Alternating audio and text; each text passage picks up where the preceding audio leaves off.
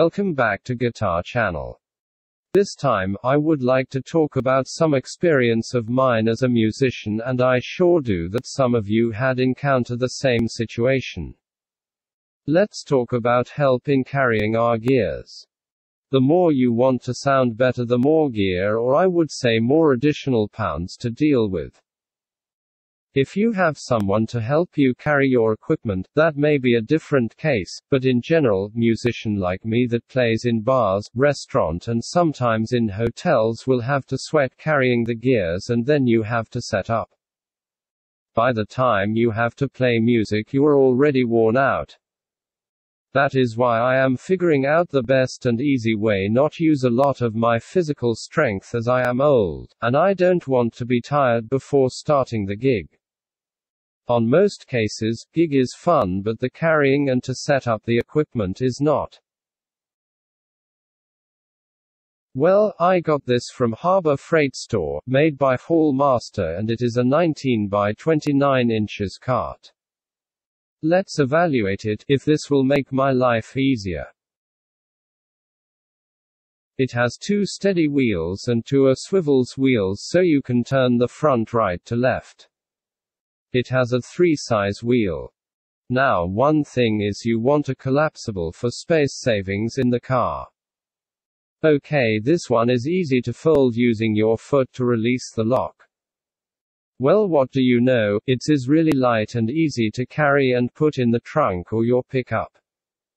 Now let's do the test once it has all the weight into it.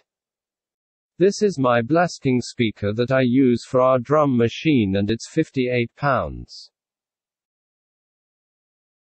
This is my Roland Cube 80 XL for my guitar. A 35 pounds combo amp. This is the QC speaker that we use as part of our PA system and it is weight 39 pounds. And this is my bag for cables and electrical items. Estimated weight is about 30 pounds. Now I keep all my mic stand trays in this bag and power supply for the electronics which is about 20 pounds.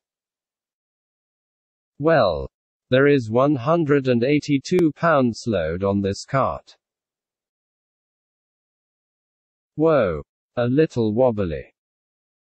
Let me secure it before we continue. Now it's tied up well. On flat surface is good. Going down still good.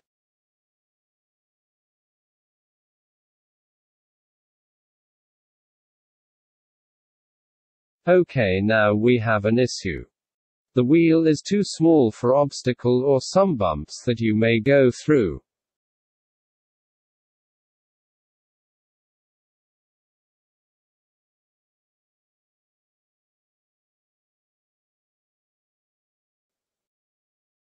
Needs some muscle here.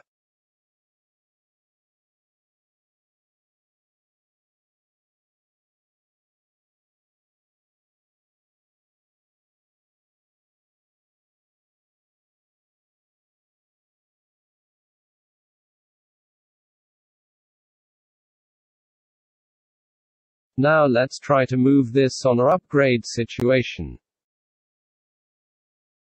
Okay this is not good. I don't want to go with all of this trouble on a gig with similar type of location. If it is flat surface it will be fine. But who has a gig that would turn out on a good nice flat surface every time? Anyway after the test I went and spent a lot of research and found quite a few good ones but with a high price tag. But for the benefit of what it could do to help me move my equipment I am okay to go above my budget. Once I received the product I will make a video out of it so stay tuned. If you are a musician, help me increase my subscriber so I can do more video topics about musicians and guitar stuff. Kindly like it and subscribe. Thanks.